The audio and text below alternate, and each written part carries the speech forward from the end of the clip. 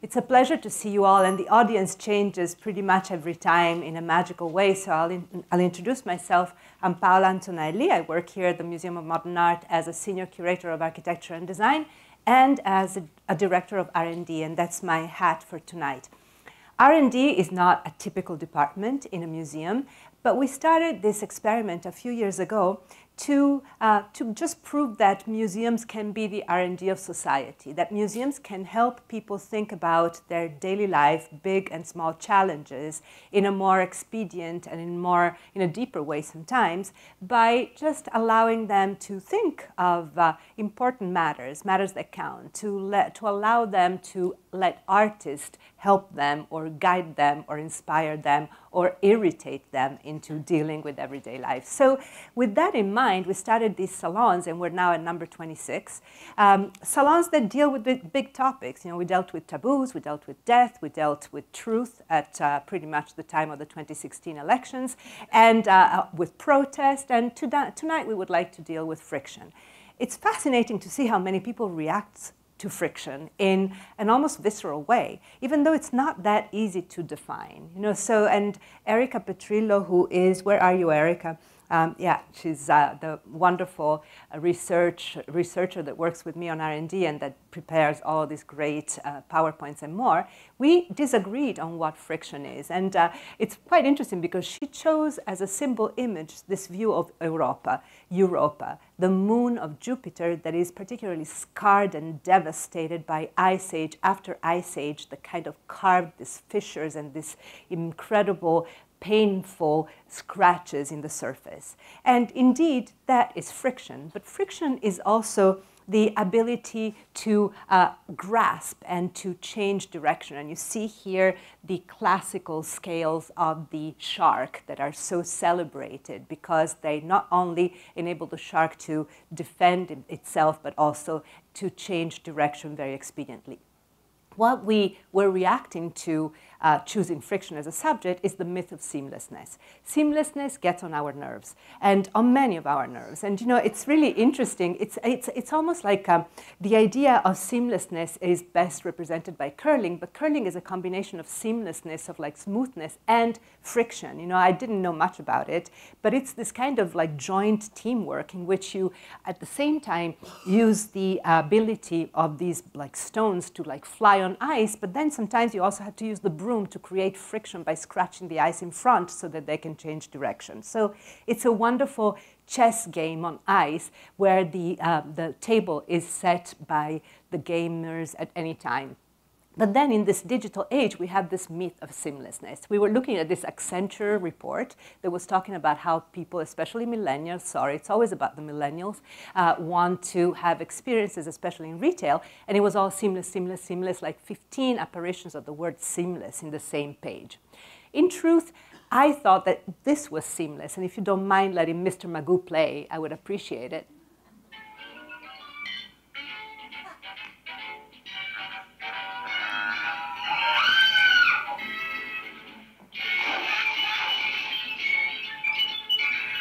This has always been one of my favorite cartoons because it's this image of like one after the other points of friction and danger and Mr. Magoo that seamlessly flies through them. So these continuous metaphors of seamlessness are best represented by the digital myth, the myth of the of digital society. What you're looking at here is a, a beautiful work by Tony Dunne and Fiona Raby who hypothesized, they're great uh, speculative designers and theoreticians of design, and they uh, speculated that there will, will be a future. They did this in 2012, and they speculated a future in which Scotland and Wales would drop from the face of the earth and Britain and England would remain onto itself. It's funny, it was before Brexit. It's kind of a counter reality to Brexit. And they hypothesized that the four remaining micro kingdoms were ruled by different people. We will not go into the bioliberals and commune nuclearists and anarcho-evolutionists right now. We will instead concentrate on the digita digitarians. And the digitarians were governed by people or algorithms. Who cares who governs so long as everything is smooth and runs seamlessly, right? So there was this myth of the seamlessness. And uh, the whole kingdom is guided by market forces, by technocracy, and people have illusionary choices. They don't really have a choice, they follow market um, forces. So, seamlessness as a myth for the digital era is coinciding also with the myth of people being nice to each other.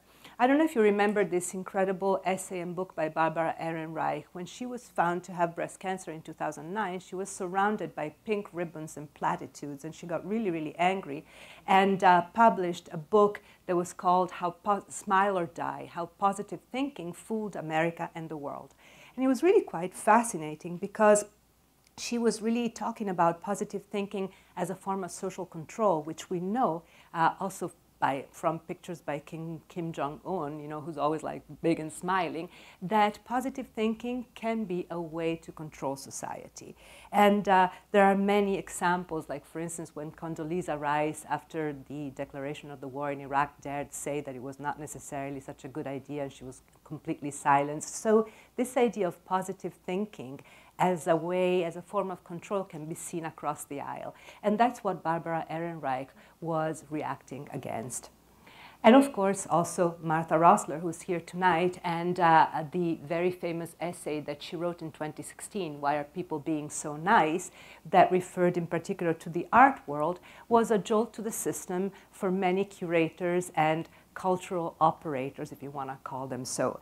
It's the idea that the demand, especially in neoliberal terms, for the wholesale invention, performance, and perpetual grooming of a transactional self. The idea that people that work in the world of art, especially curators and people that work in galleries, have to always be transactional and to always be nice in order to facilitate a conversation that doesn't have that much of a meaning. But to make a long story short, the essay, essay was so influential that a curatorial group called the Appel in Amsterdam actually created a workshop, a four day workshop that was all based on this idea of uh, people in the cultural sector being nice. And I find it very funny because if there are some people that are not so nice and that I admire for that reason are the Dutch, God bless them. So I liked the fact that it was, it was happening actually in Amsterdam.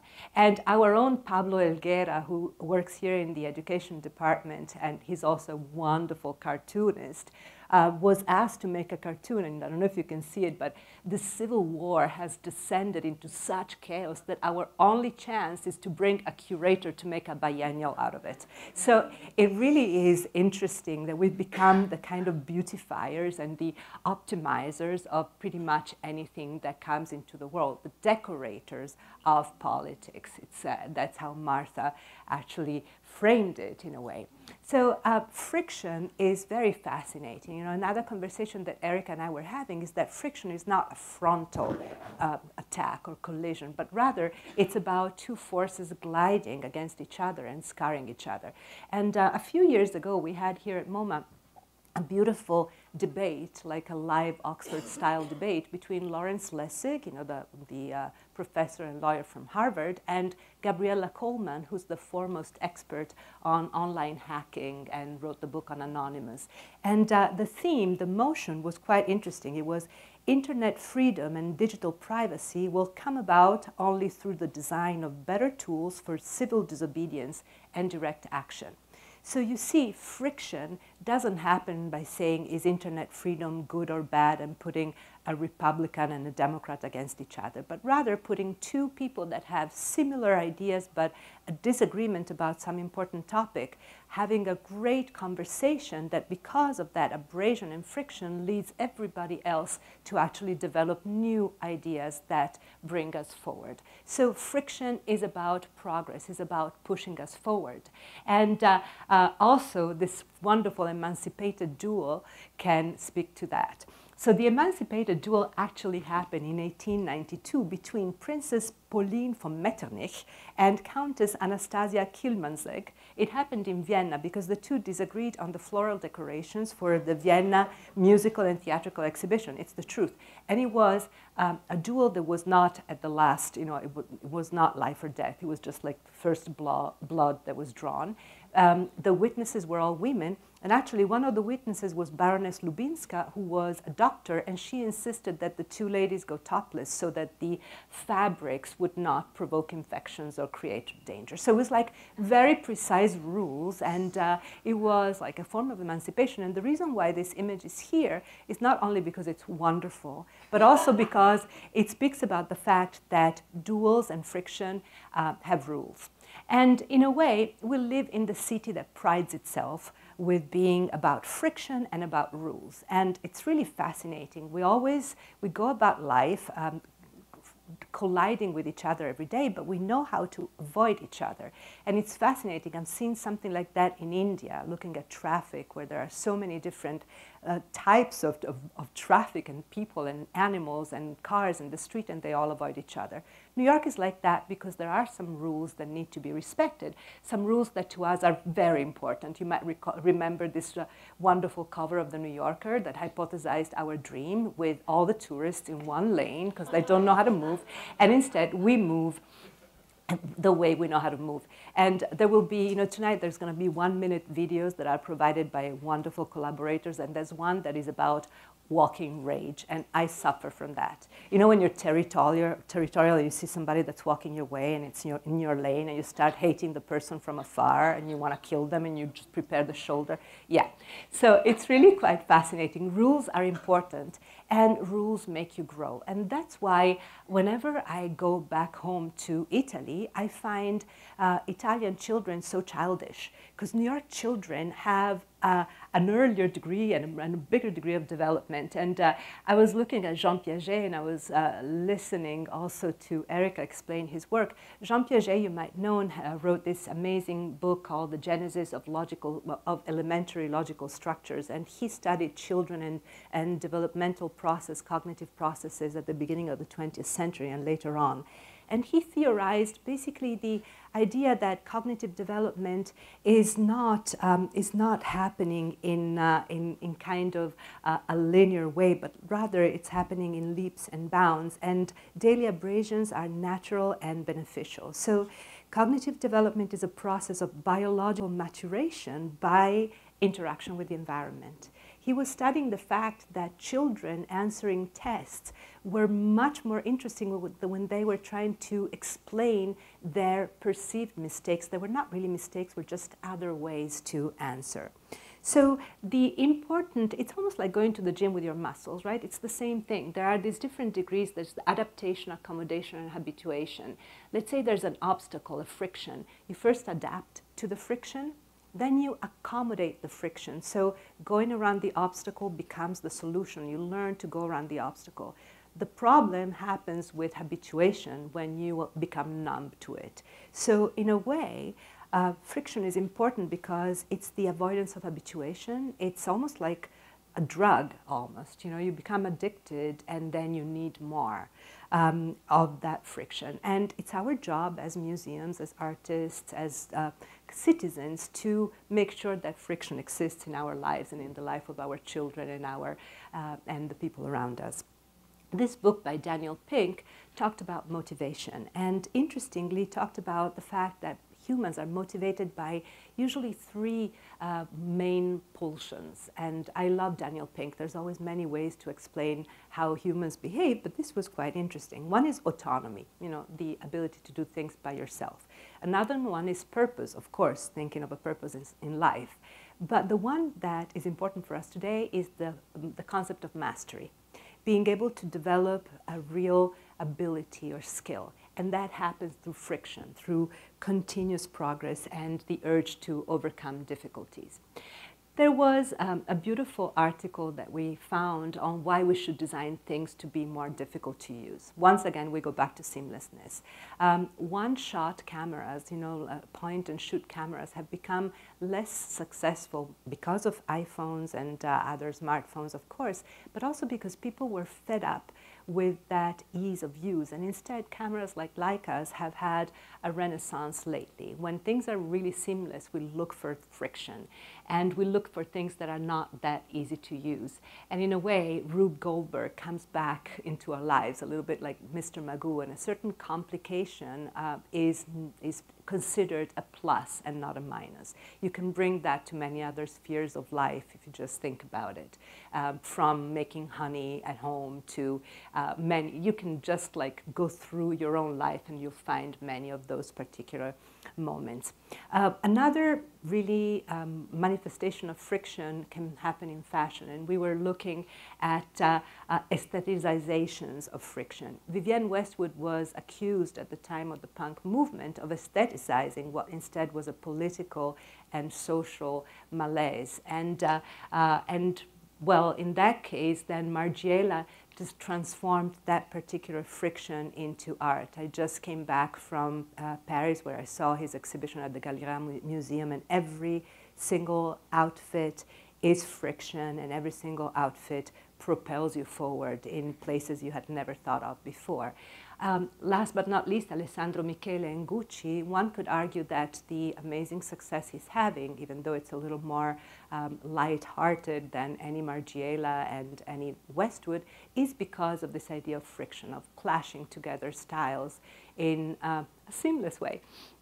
Um, beautifully, friction is about life and keeps you alert. I don't know how many of you know about Tullock Spike. So um, Tullock, and I remember his Gordon. Gordon Tullock was an economist who argued that in order to keep people alert, you have to increase risk. And the Tullock spike shows, shows it very well. You see it there, you know, and you see it also here. The idea is that if you have a spike, you're going to be a much more attentive and careful driver. And also what happened on Exhibition Road in South Kensington in London is really interesting.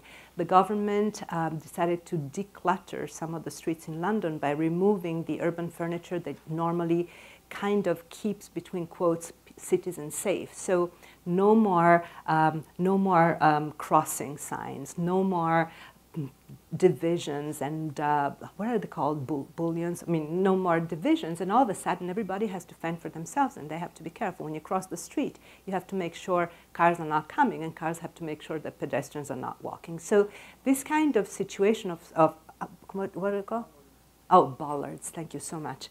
Um, this kind of situation of, of anarchy is a situation that should improve safety, and in fact, it did. It reduced the uh, accidents by 30% on that particular road.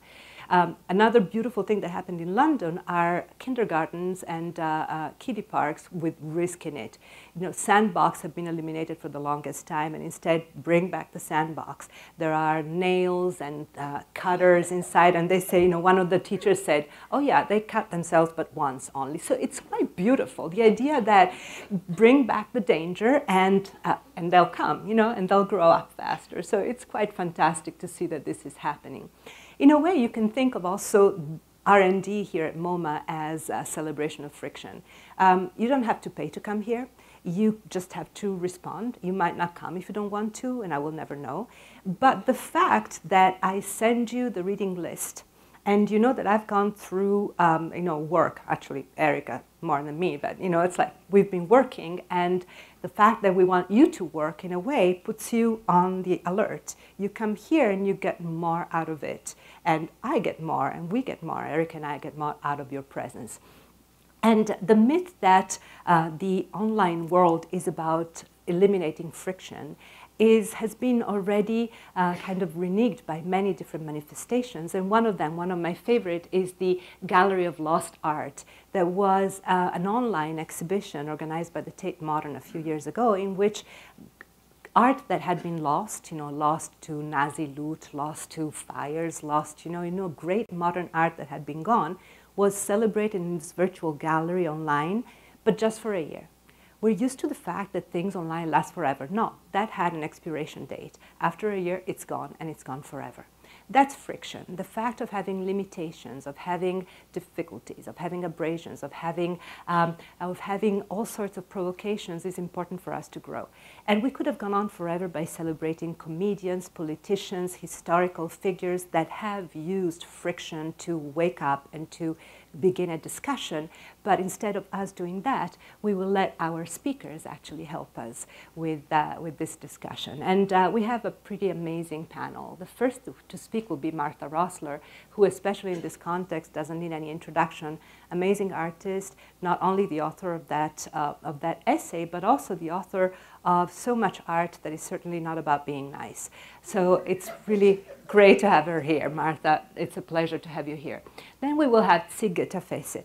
Tsige is the, one of the founder of BUFU, that means by us for us, and uh, I think it's a play on FUBU, probably, on for us by us, so we'll find out more about it. But it's a, it's a group of curators and artists that talk about um, the decentralizing whiteness in a way. It's about connections, it's about relationship between African American and Asian culture. But that's only a departure point to talk about much more about any kind of identity, uh, identity fluidity, and decentralization.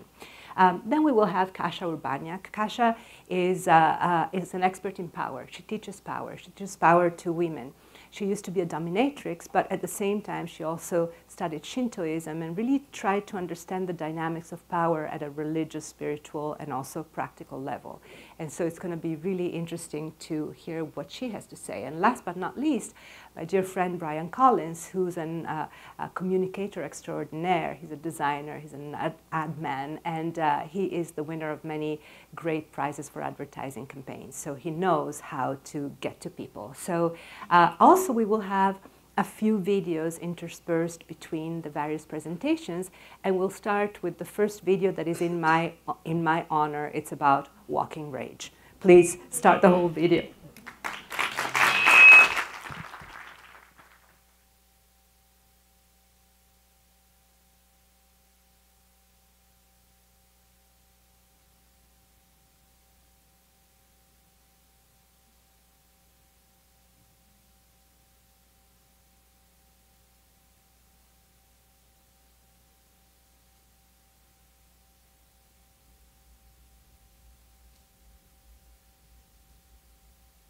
pedestrian rage is a culturally learned aggressive behavior style of walking and standing in public places.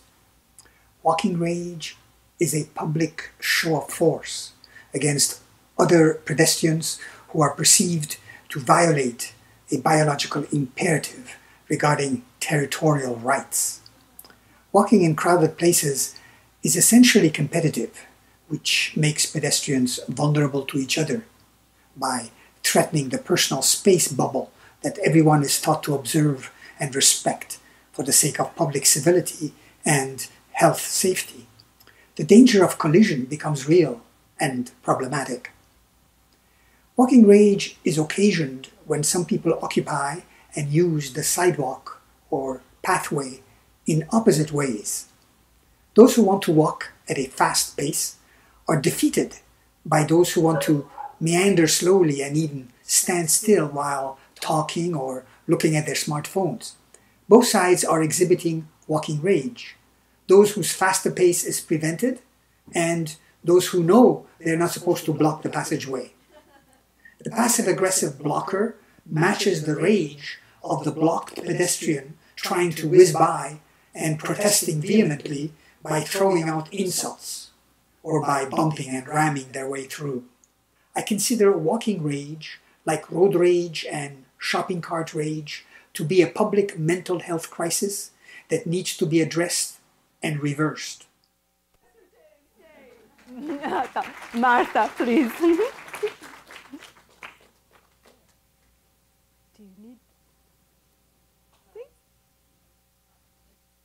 Pointer help? I'm here for you. Anything you need. Hmm? The PowerPoint you move with this big green arrow. And if you want also the laser, this is the laser. Okay. I hate being first, but I will be the most irritating, I think. Um, it's my job. Um, right. I want to enter the discussion about friction through a linguistic door. A few years ago, I began to notice a certain stilted set of verbal expressions and messages, ads, and emails emanating from the art world. celebratory words expressing excitement, as in, we are thrilled, had supplanted other expressions of pride or pleasure. Merriam Webster suggests to be thrilled means to experience a sudden sharp excitement, to tingle or throb, tremble or vibrate, charged up like a battery. Other words might serve. Oh, I should say there's going to be something of a disconnect here. I don't, I believe in the friction between what's on the screen and your desire to listen to me or not. Other words might serve elated, enthusiastic, overjoyed, joyful, ecstatic, or entranced, or delirious or rapturous, passionate or exhilarated, but none has quite the cachet of thrilled, with its etymological derivation from thurlin, thrillin, to pierce. Thrilled suggests a certain elevated excitement, incandescent but restrained, and attests to an emotional response affecting the speaker, or by extension, the institution it testifies to affect. Affect is the stock in trade of the art world, although it's shared by much else in daily life. Art institutions join every other sales oriented industry in agreeing that the provision of experiences is paramount to success. But can this explain why everyone is being so nice, so kind, so polite, so friendly? Except when they have sidewalk rage and most other times. A detour is warranted here. Over the past 50 years, high art has been shoved off its perch at the apex of cultural meaning, its structures and institutions riddled with strategies borrowed from the mass media, advertising, and fashion. The contest over the provider of aesthetic experiences and their shape and form entailed a contest over the term creative and in which pursuits and industries it resides. Leading contenders are technology, architecture, design, fashion, and advertising. Not so great for artists. Today, in our heavily knowledge based, data centric society, in the US at least, those damn millennials are far less drawn to the pleasures of sheer accumulation. Are we having a sound issue? No. Really? Okay, maybe it was a drop in the subway sound. They're far less drawn to the pleasures of sheer accumulation of material goods than. Oh. Thank you. That seems more comfortable. Than to those derived from. Oh, I have to say this again. Millennials are far less drawn to the pleasures of sheer accumulation of material goods than to those derived from less material or object oriented pursuits. Much of this our economy, often called the immaterial economy, but taking in the burgeoning service sector, is unwaged or poorly waged and precarious. A gig economy. That's a very low key invitation to be a mechanical Turk or to rent one. There have been several setbacks and crashes along the way to our tech economy like recessions and crashes from the previous industrial one. One notable fix was the neoliberal shock of the 1980s, engineered largely by Margaret Thatcher, seconded by Ronald Reagan, with secretive policy groups in the background that saved the bacon for the advanced economies austerity, privatization, outsourcing of work, prohibitively expensive education, and a shredded social safety net. And a destroyed power of labor unions, aggressively curtailed, as we see in today's Supreme Court decision in Janus relating to public sector workers. Another wonderful move. So,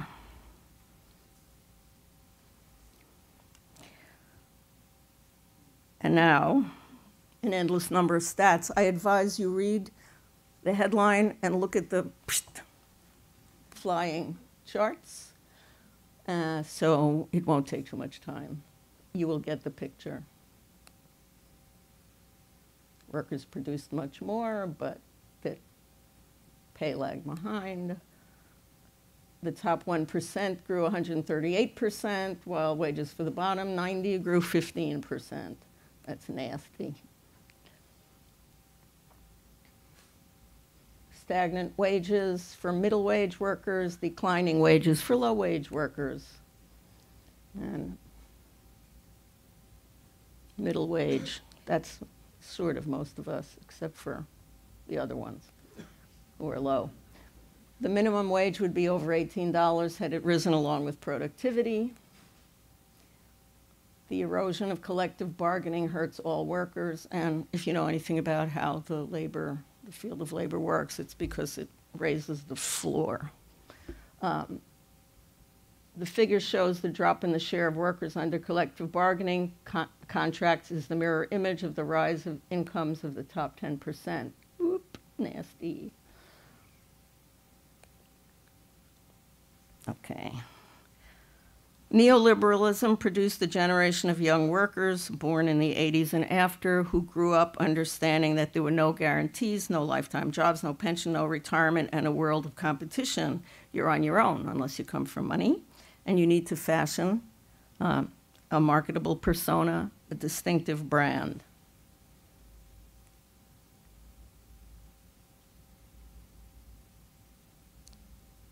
It's not looking so great for them either.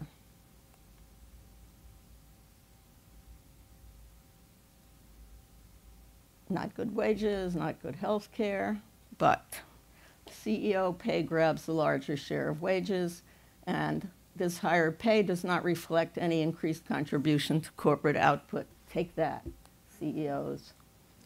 They now make 296 times what a typical worker earns, but notice before the financial crash, they were making 383 times. So, and that's times. Okay. Okay. Aggressive corporate sharks and downsizers of the 1980s and 90s, the Carl Icahns and the notorious chainsaw Al Dunlap, had led the way to the drastic reorganization of work and the end of the great post war labor management compromise. On firing a morale officer whose job was to ensure harmony in the executive suite, the hell with harmony. These people should have been tearing each other's hair out, demanding to know why the company was getting its ass beat every day. He's a local boy.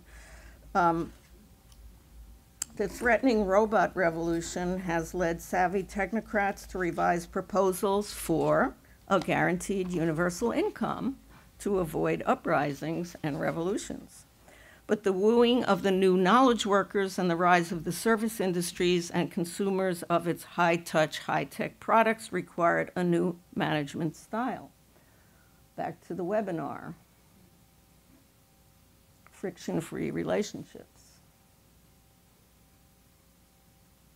use word for word scripts. Practice in front of a mirror.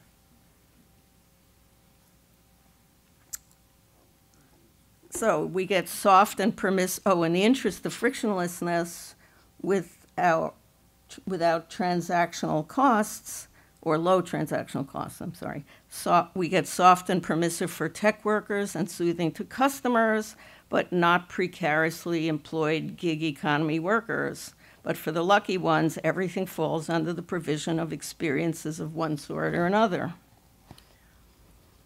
Museums in the experience economy promise not cultivation and contemplation, but rather edification and amazement for visitors of every age and social class. The experience economy de- uh, demands authenticity, which axiomatically takes shape as heightened faux emotion. As to the art world, whose denizens have been likened to a nobility, a group captive to royalty and haute bourgeois elites, uh, but retaining uh, aspirations toward favor and access, we can look back at some of our predecessors and current friends. Um, ambition, bankable information, flattery, gossip, infighting, competitiveness in both manners and physical display all figure in the production of a set of deep bowing courtiers who hope to gain entry to the inner sanctum. This is just a list of when and how to stand, sit, bow, and curtsy. Um, when you leave court, it's proper to bow or curtsy, walk to about 10 or 10 feet, 10 or 20 feet from the thrones, and bow, curtsy again. Um,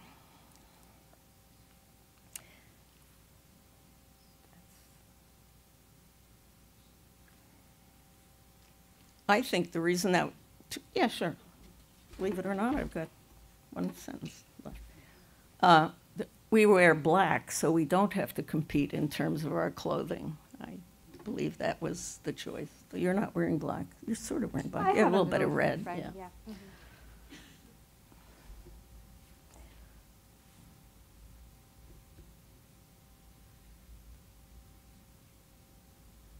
Obviously, I don't expect you, you to read this, but the salary for curators is not so great. The young non-managerial staff and those in art-related fields, female in high proportions, work almost nonstop on call 24/7. In their email communications, the salutation is followed by the rote but heartbreaking phrase, "I hope this message finds you well." I got one today. A phrase that smacks of a pre-modern imaginary, a Victorianism that likely never was, to suggest a warmth and concern that cannot pertain. The stilted faux sentiment, like the communication of thrill, is a nervous tick emanating from the escalating courtliness of art world social relations among those needing to serve the top dogs in this pink collar ghetto, but also expending throughout. When we complain about the nightmare of the art world as driven by the market and its increasingly institutionalized and rigidified path to success, we should remember we often, generally, participate in it and its alienating search for a competitive advantage with hardly a thought on how that resonates on every level. It's time to say no more Mr. Mr. Nice Guy and insert some friction into the system. The question is how. Thanks. Thank you, Martha. So we're gonna have a little video before we call Tsige. It's Mr. Willem Frankenhuis.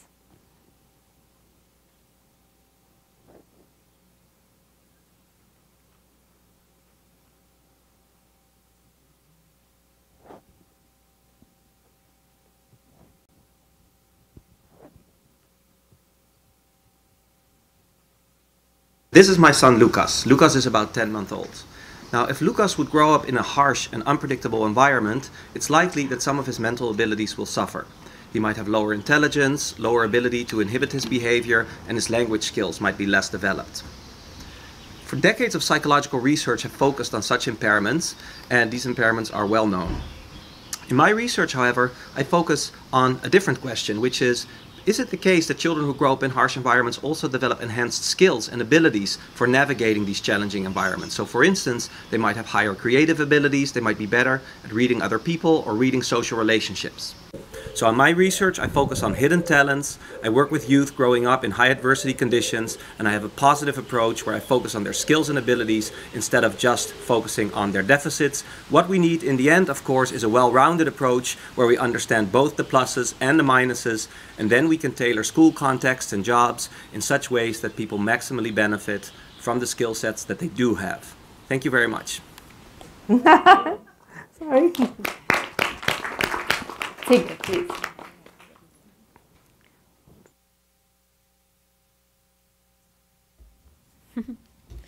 Hello. Um, hi, my name is Tsige Tafesse. Oh, hey! I see some friends in the audience. I did not know that I would have friends here. This is not something I often do. Um, and I'm going to talk a little bit about my personal life and how a lot of this is quite surprising and strange, speaking here at the MoMA. Um, yeah, so the title of my musings is Solidarity is Possible um, but Not Inevitable. And so, kind of uh, what, uh, well, for one, shameless plug, this is the title of a installation project that the collective I'm a part of called Bufu is about to launch in um, late summer, early early fall. So keep an eye out. Um, but also, um, I guess I'm mm, I'm a little curious about this topic of friction. I think um, you know a lot of, especially like Black and Brown folks, probably would agree that we live in constant friction, and I definitely don't go looking for more. Um, I think it's a really interesting um, idea to introduce that. Um, I'm going to talk a little bit about my personal life, and I think though I have learned a lot through struggle, I don't think that it was something that was inevitably a good a good thing that I would wish on other people. So um, I'm also much more of like a maker and doer. So you're gonna see a lot of videos, and I'm going to speak amongst them. But they, yeah, just like bear with me. Also, it's my birthday, so you have to be nice to me.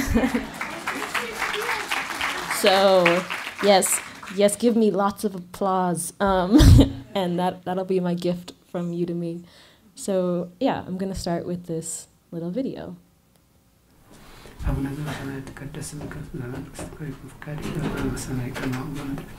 ሲሳያነ ዘለለለት ናብሳይ ነው ግጋይ ነገመን ነኝ ለግለዛበት ዘለለይታ ወስተ መንሱድ አነ ኩሉ ኮይስ መንግስት ኃይል ወስብሐት ለዓለመ ዓለም በሰላም ቅዱስ ገብርኤል መልአክ ወቅት የማርያም ሰላም ለኪ ብሩክት አንቲ እምስት በብርክ ተፈሲ ስቴት ወምላተ ተጋግ እግዚአብሔር ምስለኪ ሰዓሊ ወጸሊ አበ ወልድኪ ኢየሱስ ክርስቶስ እግዚአብሔር እናንተንም ሰላም አድርጎ ሀገራችሁን ሰላም አድርጎ እንዲህ እንደጠየቃችሁኝ እንደጠየቃችሁን እግዚአብሔር እናንተንም ደግፎ አቅፎ ደግፎ ሀገራችሁ ሰላም ይሁን። አሜን። ኢትዮጵያም ኢትዮጵያና ኮሪያ አንድነታቸው ለዘላለም እንደለመለመ ይኖርልን።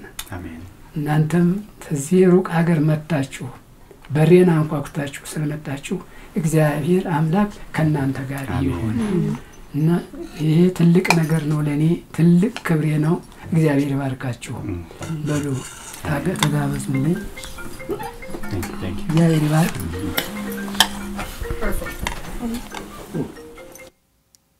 Um. so yeah. So that clip is um, is from the first um, minute of a collaborative documentary that the collective i'm part of um, bufu is working on um, looking at black asian cultural and political relationships. I chose to start with that clip. Oh, and if you speak Amharic and you're in the audience, um, which is Amharic is one of the languages from Ethiopia, and you are looking at my translation and you're like, that's not 100% correct, it will be in the final in the final cut. Um, but the reason I wanted to start with that clip was for one to kind of ground this conversation um, in a place, in a spiritual place, a place where um, that this work of solidarity, this work sitting in the honest to God friction that we have every single day, if you want to open your eyes and take a look around, um, is that this is a part of a much longer lineage um, of work and also is, yeah, uh, a blessing, a blessing to, like, this is a blessing to share these stories. It's a blessing that I am sharing the story with you. It's a blessing that I was given the gift to, to share the, in this space. Um, I just thought I wanted to kind of start there.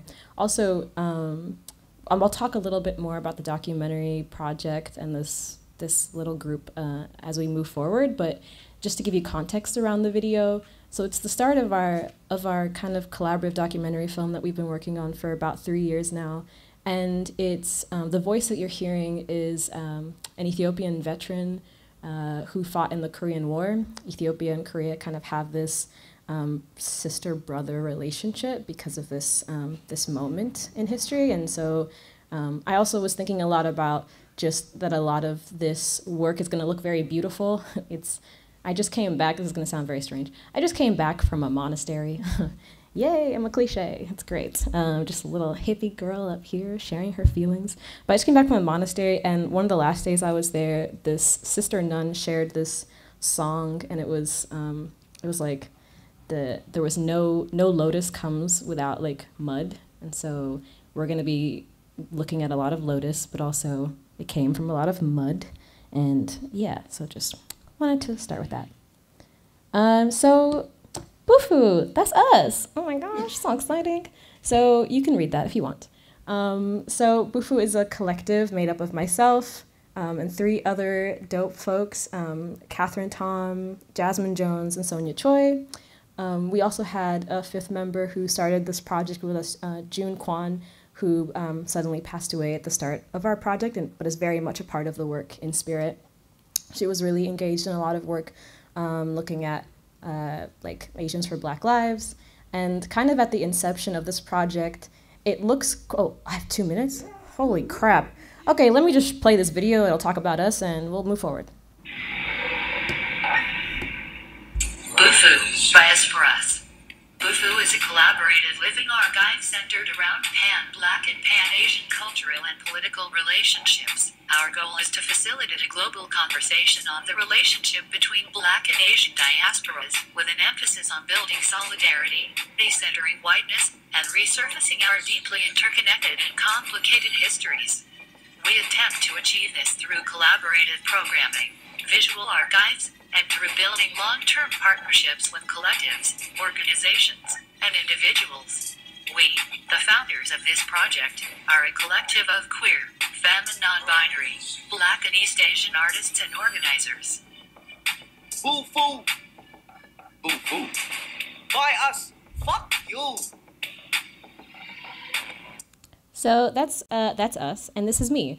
Um, really quickly, um, again, that work came. This work has come from a lot of challenging hardships that we were seeing between Black and Asian communities. It's not because we thought that things were going well that we decided to do this work. Things were really challenging, and we thought that um, if if a way to tackle that work would be to kind of look at creating language. We tried to have all these different meetings between Black and Asian folks, and they oftentimes just ended up being really contentious and challenging. And it just occurred to us that oftentimes, even though we had been going through different relationships to white supremacy, capitalism, we oftentimes didn't share a language to be able to communicate. Um, and yeah. Uh, I also wanted to share this is me, uh, a young scammer, um, twinkle in her eye and everything. Uh, I, with, with, this conversation, I was really challenged by some of the questions um, that were brought up I am the daughter of a failed Marxist revolutionary of a very bloody and challenging Marxist movement that did not work out, and uh, a woman who was a part of uh, a, a, failed and ousted monarchy. So uh, that makes for a very strange child who grew up in the States.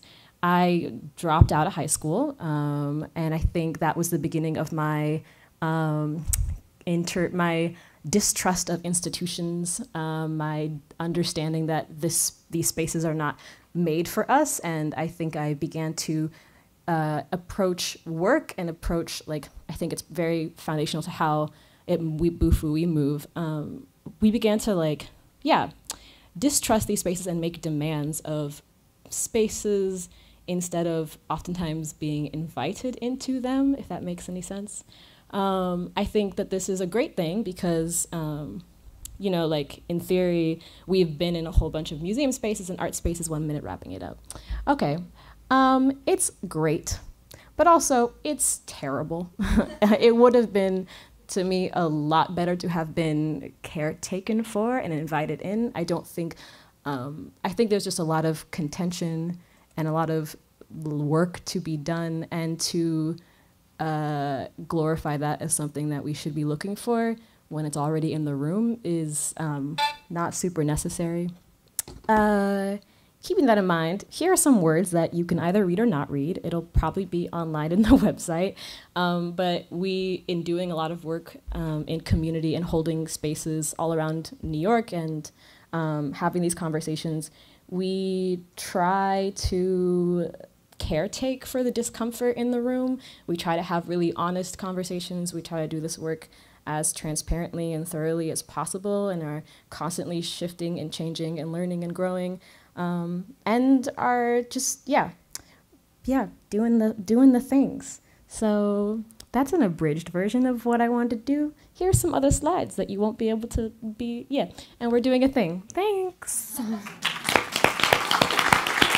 Thank you, Tsige. And happy birthday again. I was going to let you speak and then say happy birthday at the end, so thank you. Two videos before we move on to Kasia, please.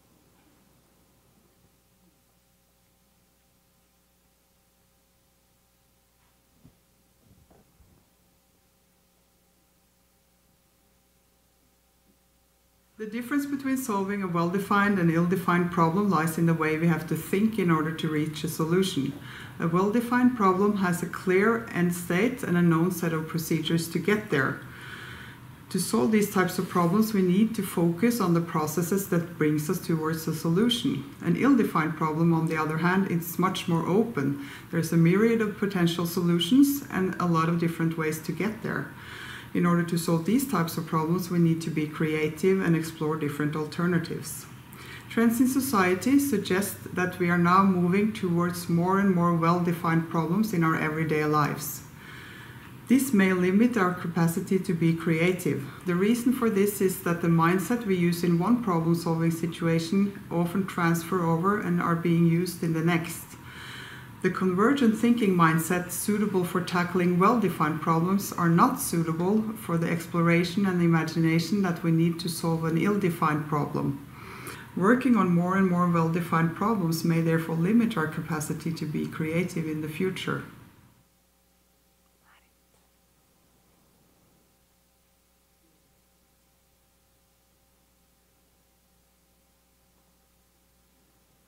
I think somewhere along the way we've become fundamentally mistaken about what makes us happy. For some reason, we've decided somewhere that pursuing pleasure and happiness on its own is the, the right way to maximize um, our happiness and enjoyment, satisfaction, and well being in life. Yet, what we've forgotten is that part of being happy is also experiencing its opposite, pain. Without pain, there's no contrast to happiness, there's no edges to the experience of happiness. Endless happiness becomes a kind of dull and boring and uh, pointless existence in some sort of way. Pain is what gives life meaning and purpose. It's sometimes through our struggles that we, we learn the most, that we grow the most. It's our struggles which teach us, um, and, and they, it's also our struggles which give us the capacity uh, often to connect with others as well. It's often in our, our times of uh, shared difficulties, our shared adversities and challenges in life that we connect with other people and we become bonded with them. Thank you, and I would like to invite Kasia Urbaniak now, please.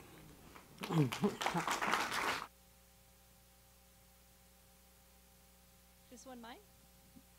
Hello? Hello. Hi. So, um, I would like to begin by proposing the idea that we live in an extremely conflict avoidant society. And I don't just mean the nice people. Normally, when I say this in a room that hasn't been prepped for the direction that we're going in, there are people who are like, How is that possible when all we see is violence, aggression, fighting? How do we live in a conflict avoidant society? Well, the way I see it, we're a little bit about conflict the way a New Yorker is about a roach in their apartment. It's one of two ways. or kill the fucker. Killing the conflict, crushing resistance, is just another form of avoiding conflict. So if you have like the image of um, maybe something that happened millions of times in our human history, where you have a tribe or a village, and the opposing tribe shows up over the hill. And all of a sudden, all of the men get up. They go to meet the opposition, to crush the opposition, while all the women and children run for the hills. So, the two ways of dealing with resistance, with conflict, with friction, are so ingrained in us, in, in my belief, that it happens in human interactions constantly.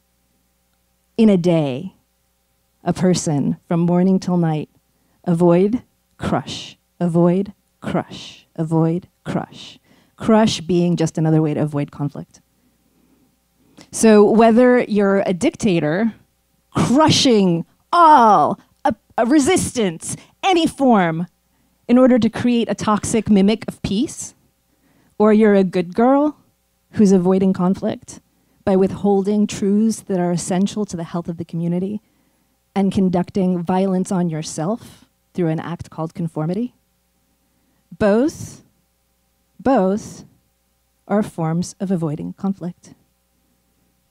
And in terms of human relational skill, we really generally lack an understanding of the art of friction, the art of staying in the space of resistance. So, there's a third way that doesn't involve crushing resistance, running from resistance. There's a third way that applies to government, household, business, romantic relationships. And now I'm going to take you into the dungeon. so, in the past, I spent maybe 17 years working as a dominatrix. And um, very quickly and early on, I made an observation.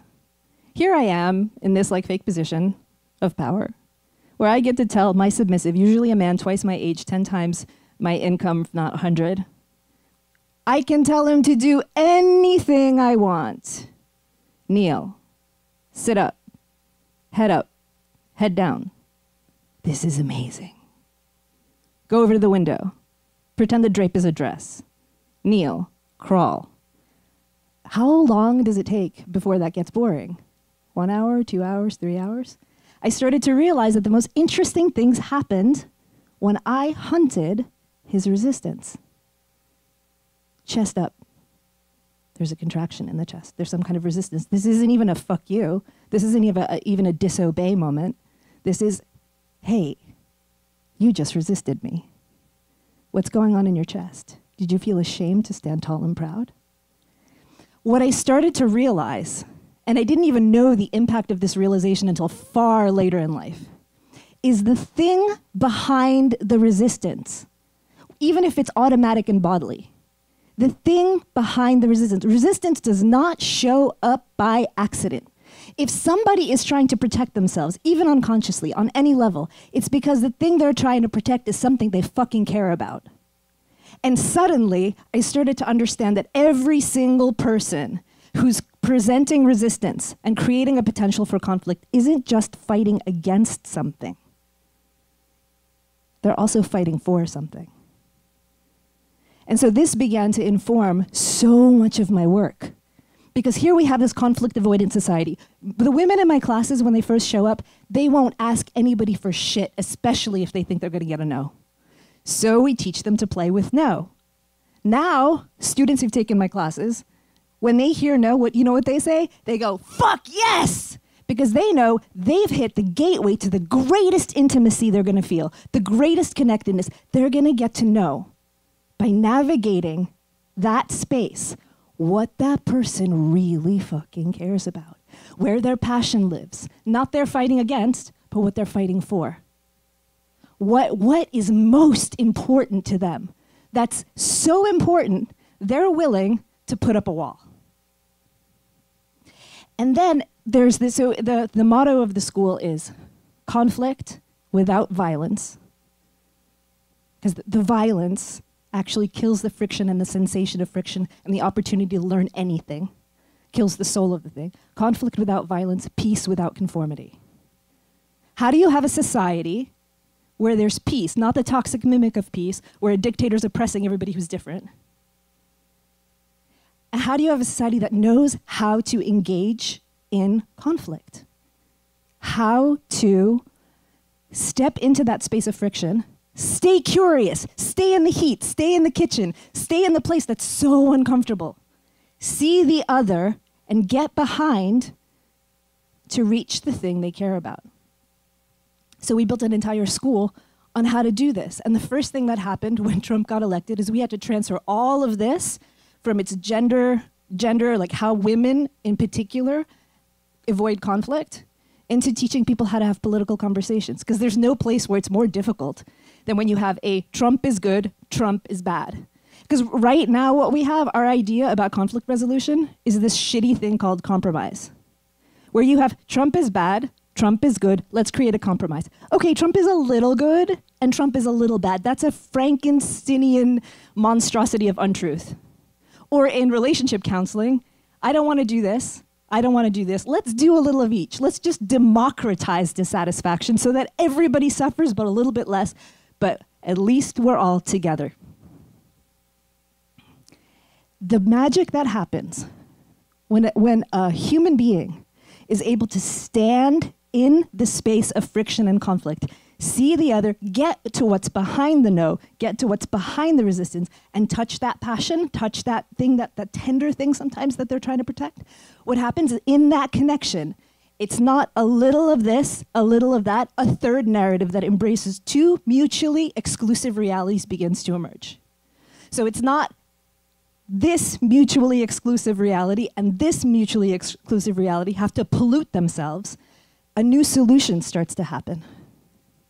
And the, the incredible gift that this is, the ability to witness the other over conflict while standing in this friction and this resistance, releases imagination and creates a whole new game for everybody involved.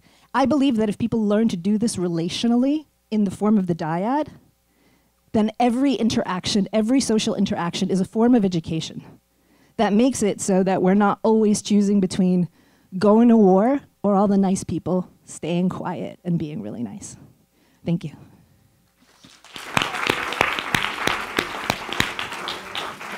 Thank you very much, Kasia. Now we have uh, a video by Matthias, Matthias Laschke and then Brian.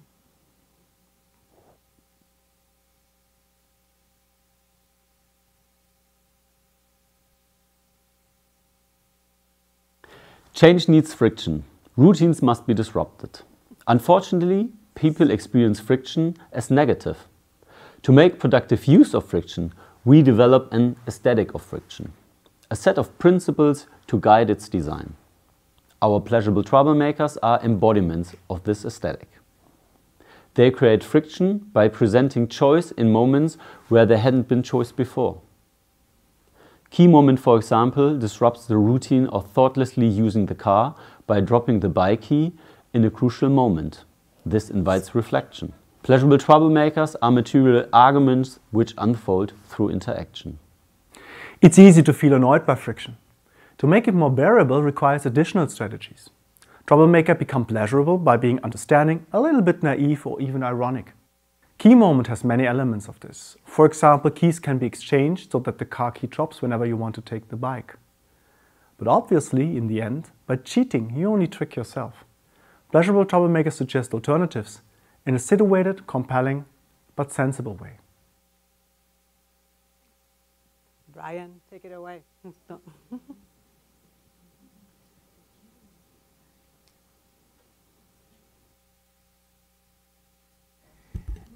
I lead a um, design and brand experience company in San Francisco and New York City.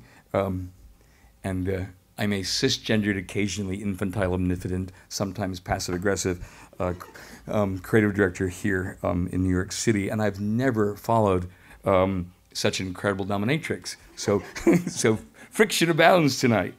Um, and also, friction is a mechanism in our uh, work for creating meaning in our daily, everyday work, not only as process, but also as output for our clients um, that we work with. So I'm going to talk really quickly about two projects that we've done, one uh, very recently, and then one that um, I did when I was a creative director at an agency called Ogilvy and Mather that you might be familiar with. So um, quickly, in 2017, um, uh, Friction uh, was a uh, as a sort of uh, can be created as a contradiction of expectation. If you've ever been to Camden, Maine, you've never seen something as aggressively peaceful, as aggressively beautiful, and as aggressively New England as Camden, Maine. It is, it is absolutely beautiful, and uh, for the last 20 years, 1,000 scientists, technologists, writers, artists, designers, CEOs, provocateurs descend on this place for about three days for a really fantastic conversation about the role of science and technology um, in culture and on the future. That conference is called PopTech. And we were invited to design it. And we developed this idea called Instigate. We, needed, we were at a point in our culture where we needed to sort of spark new ideas and spark a much more assertive conversation. And so PopTech called and said, Can you sort of help us develop this idea? And we said, Sure. So one of the things that we did was we were the first thing visually we wanted to be really aggressive in this sort of incredibly beautiful New England town. Um, and then sort of we did things like this. It was outside the beautiful Camden Opera House um, and sort of registration, all visually very aggressive. And once you arrived in this rather spectacular opera house, it is really beautiful and super elegant. Historically, what they've had at these events when they open up are really, really elegant by very famous graphic designers films. And um, that's been the, consistent thing is it's in beautiful Camden, Maine. Let's make it really beautiful. Let's make it really nice. We're going to have three days days of uh, really collaborative conversations. And I said, let's not do that. Instead, what we decided to do, if, since instigate was the idea, we took the idea of friction as the idea to kick off the conference. And after a thousand people sat in their seats and the lights went down, this is what we showed them.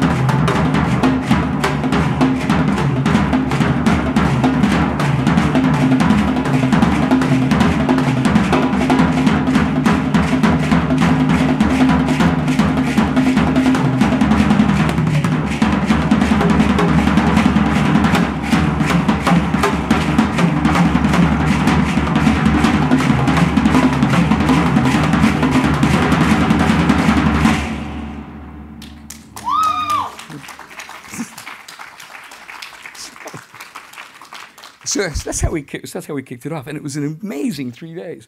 The idea that friction was friendship was a really powerful thing, and we we had a rather amazing three days. This is what I love doing. We filled the town with all these PopTech bags. So um, toward the end of the uh, the week or the end of three days, they, were everywhere. So it was a fun thing. I, I, would I'd like to talk more about this, but I'm going to jump now really quickly to 2005. And uh, I was a creative director, um, and I ran the design um, and uh, Uh, experience division at Ogilvy and Mather. And at the time, we were asked by a brand that Ogilvy had actually launched in the 1950s. It's probably in your home, it's probably in your mother's home, it's probably in your grandmother's home, and that brand was Dove. And Dove had been around for a long time, and they were aggressively looking to create a movement, not just in the skincare and selling. I'm, a, I'm an advertising guy, I'm going to talk about selling soap. Um, but what they wanted to do is move out of the soap category, and they really wanted to move into this category. They wanted to be seen as a beauty product. And so when you do that, and when you enter a new category, then friction has to be happen because you have to talk really quickly tonight, two minutes, as uh, to talk about how you sort of enter a brand new category. Um, and what we wanted to do is disrupt the category. So we quickly saw a global study in 2005 that was developed by um, Unilever and actually the Harvard Medical School with young women of college age, they had this incredible survey where they found out 90% of them wanted to change something about the way they looked, 25% of them had eating disorders, 67% of them said negative body image presented them, prevented them from participating in life engaging activities like going out to school or speaking out about things that were important to them, and 2% of them considered themselves to be beautiful in 2005. So we asked the question what does beauty look like in 2005? It hasn't changed. You've seen it. It looks like this, this, this highly, highly airbrushed, highly controlled. And then if it didn't look like that, you might all remember, if you were around in 2005, um, that even something, not even beauty, but even in other categories, like eating hamburgers, if you remember this ad from our friend Paris Hilton, uh, which you probably remember about how beauty was perpetuated there. And even when we saw people who did not look like Paris Hilton, maybe a lovely middle-aged woman, even then when they were presented, there was something wrong about them. Real Women, Real Stories was actually an ad for Botox.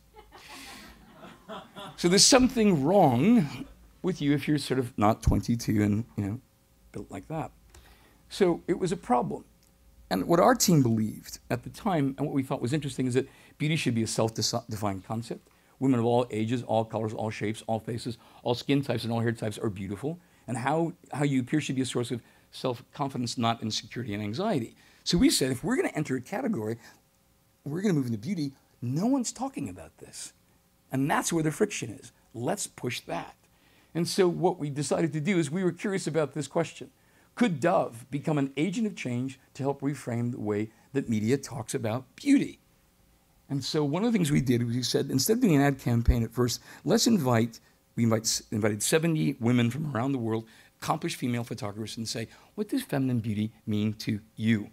And we got the most amazing photographs back. I'll show you some of them. It didn't look like Paris Hilton.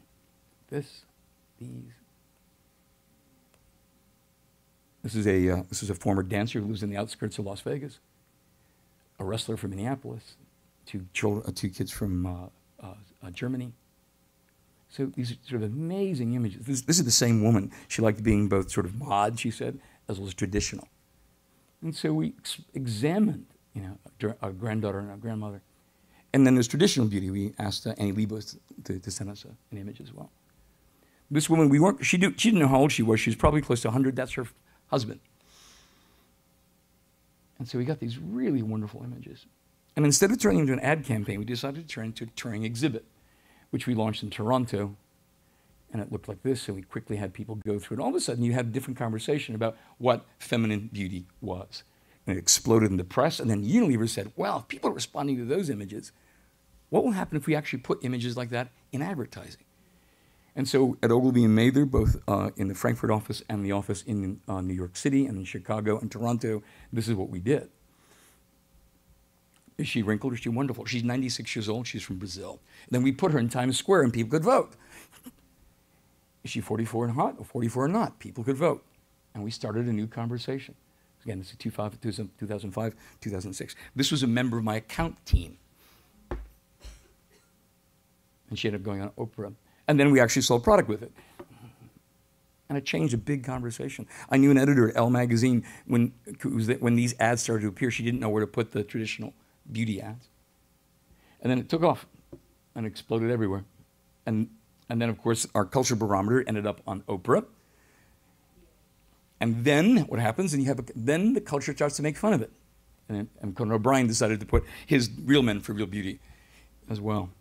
So the conversation shifted, primarily because we embraced friction as the possibility for enabling creative provocation and change. And the campaign still continues from 2005. The, the most recent campaign was a series of ads around Dove sketches where women were told, um, were uh, invited to talk about themselves, and police uh, artists would draw the way they, they felt they looked. And it was a rather remarkable campaign. So um, there you go. Thank you. No, no, we can, no, you can all join me now. So we're gonna, you're gonna be next to me. We're gonna have Kasia here. Yutsige wanted that chair, and this is gonna be Martha, please. So thank you very much for these great, great um, presentations. So in a way, everybody kind of agrees except Tsige. Well, Tsige maybe also, but the friction is um, mm, a, a, good thing and uh, that it needs to be used well. So what was the most irritating moment tonight for each one of you? No, it's like, I would like to I would like to hear because I was thinking about it. I was trying to think. So let's start let's start with Brian. What was the most irritating moment? Two minutes. Huh? Two, uh, the two minutes. That's okay. Perfect. But I know. But you know. But but you had me move because we have a lot of people. No, but that's get the it. funny thing. I know that I'm annoying, but at the same time, I like it. Yeah, I like to do it. so okay, Maybe you you got me. I know. I just, it's one of the parts of my job that I like. Okay, great. Tsige, what was the most irritating moment for you? I thought we were going down the line. Um, No. Okay, skip to me. Uh, maybe because I started with my irritation. Um, I think also your scarf. Um, I'm the most irritating. uh, I know. Oh, good to know. Yeah, yeah. yeah, I mean, I think this whole concept of running towards friction is strange to me. Um, I think it would be, it's, I mean, this is, you know, a brilliant panel. It's great to hear from all y'all's work. And then also, I, you know, there are brilliant people in this audience, and we are quite, I think, tuned into what's happening in the world. It's a very fraught time. I think, uh, to me, running towards making it more challenging is just very just so strange to me because I think it's like uh, we could also just be acutely aware of what's happening in, in spaces and in the room. I think also one of the one of the questions and one of the things I think have also been brought up is this idea of niceness, which I think is really um, interesting and like PC-ness and I mean all of the all of the work that I'm engaged in is like looking at the kind of like all these positions, these places of discord, and trying to envision a future that feels better. Which is like in part because you know whatever I want. There's like this higher love for the world that I want people to be well. Part of it's also just like I would like my own life to be well. Like I've seen a lot of hardship. I, you know, I in this body, um, walking around every day, finding my way to this to even like little things on the way to finding this room. Uh, hello, MoMA. This was great, but also had some interesting interactions with folks. Um, I think I, yeah, and I think I'm also like very curious of the sometimes when it comes to PC-ness and niceness, the fear and anger that comes up for, for people to just kind of acknowledge elephants in the room. Like I think if there are people who feel like maybe sitting here are like, oh, what do you what do you mean? Like also I saw you say you decentering whiteness and then somebody punched someone, like that's messed up. Da, da, da, da. I mean like, yeah, but also like I, I want I would like an interrogation of why there is this need for niceness. I think also niceness oftentimes is like respectability, is legibility, is often equated with um, behaviors that are that come from you know white supremacy and and and I I wanted to get it out because I could Yeah. tell that you were irritated well, by that. I yeah. I mean, I think it's also like I don't really. I, I mean, irritation, yes, but also like I don't think that I or the work that I do really lives in a place of mm, reaction either. Like I think I can see irritation and friction, and I think I'm like much more interested in like okay, like let's see what this is and like building an alternative. So I think also like a lot of I didn't get to get into all of BUFU's work, but a lot of what BUFU, what we try to do is also model alternative ways of making, alternative ways of like future looking. But um, anyways, Yeah. that's kind of We'll get more of it. We'll yeah. get more. Martha, what was the most irritating moment for you besides the light in your in your I'm eyes? sorry, it's a yeah, no, that's, I completely it's a understand. serious problem. I can't I completely understand. I'm sorry. I can't do Mhm. it. Sorry. Doctor's orders.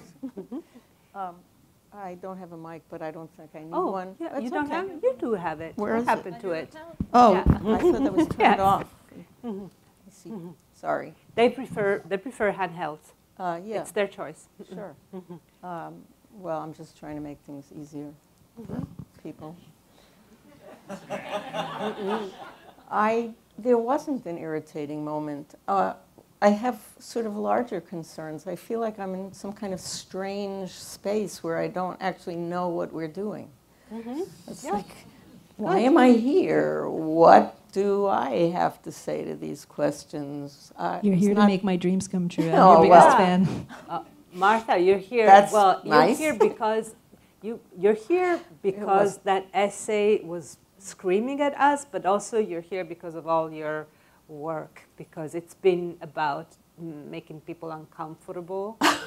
yeah, I didn't mean to make you so uncomfortable. You felt you had to answer that and reassure me. of course, Um, that's my but- job. I'm always trying to reassure. Right. Like, Well- I'm nice. So a lot of.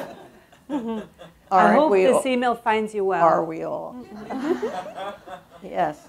Well, so th- that's the conflict, isn't it, between Mm-hmm. um, the need of human beings to aggregate and to, you know, form alliances and come to some understanding and eat dinner and uh, lie in the sun or whatever, go swimming, whatever you want to do, or have sex or run around the block rather than, you know, punch Richard Spencer, which also has its place, which was nice. Um, so I'm more in the punch Richard Spencer moment. We are living, I mean, I may love you all, but this is a very specific protected space. Um, and I have periodically said things at MoMA that made me a pariah, which I always find interesting. Oh, because the, so, so have I. yeah, but you But get I'm a salary and I get cockroach. ejected, so Mhm. so to speak, or I get shut down. Um, and it has to do with what what are the walls of the permissible. So we're always saying, okay, well, how far do I have to push, or what do I what do I need, what sword do I need to pick on that is absolutely insupportable? But I think that's a childish impulse, to be honest.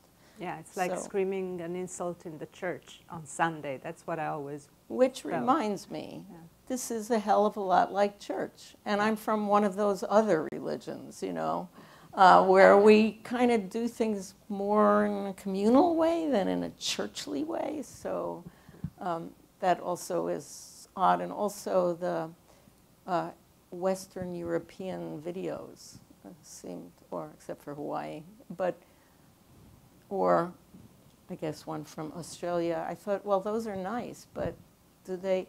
The problem with academics is they always come up with bizarre ideas that are sometimes useful and sometimes not.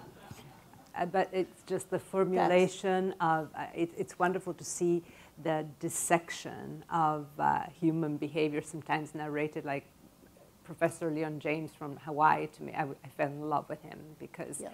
he was just like talking about. Huh? Tell me, Tsige. Eh, But isn't it like, I mean, I'm sitting here, I'm like, why am I here too? um, and maybe you out there know better than I do. but um, isn't it also just kind of gross, right? To sit there and study people and their hardships to see, like, how, what came out of that? You know, I, I think, like, I, oftentimes I think I end up in these spaces, at least for myself personally, like I say yes because I feel like I'm like on recon. I joke about being reconnaissance on reconnaissance often because I think that there are important things to learn from how the the belly of the beast functions. How would you feel if all of a sudden you were not in reconnaissance? How would you feel if you were embraced by spaces like MoMA? Um, How would you what does that find yourself? I don't know that there that institutions like this actually have a capacity to embrace someone like me. I Hmm. think that true. I think if if this space wanted to embrace someone like me, there would have to be an entirely new look at accessibility of the space. That would look at also like mm, like price points. That would look at like how the space feels. I think why like what how the how the function of oftentimes But if that museums happened, institutions if that happened, if that happened, I would be very happy to not. I mean, like, I don't. I'd be very happy. Are happy you sure to. you would be happy? Yes, I don't know where this line of questioning is coming from. It's very because strange because I think sometimes, it, sometimes it's uh, it's about also we were discussing. Sometimes we define ourselves, and I'm talking also about Mm. myself. I'm not putting it on you only. Um, sometimes we define ourselves by what we can fight against. I don't think about fighting against. I think about building. Like I think like we like when it comes to the community I'm a part of, we're really interested in like what do like like being on reconnaissance to me is like learning about things and then putting them application. Like I am not a theorist. Mm-hmm. I'm not an academic. I don't aspire to be in a lot of different. I'm not. I have no allegiance to the art space. I'm not of the art space. That was not my upbringing. My upbringing was community organizing, and then things got coded into art spaces, and I scammed them for resources. You know, I scammed them for visibility so I can get, leverage more resources. But I have like I don't need to be invited back here. You know, mm-hmm. like if I do, great. I'll take that as a, whatever that is, and I think we in my collective will too. But uh, it's it's not and i also am very interested in the read of of of people i think like me who are trying to wage new spaces and worlds of being continually in a place of reaction i think you said something really interesting um, about like hearing from someone's protest and the no, hearing the world that they want to build. And I think that that's really at the heart of what I think about doing in the work that I do. Great. Kasia, what about you?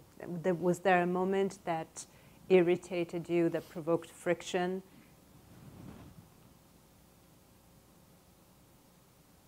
Um,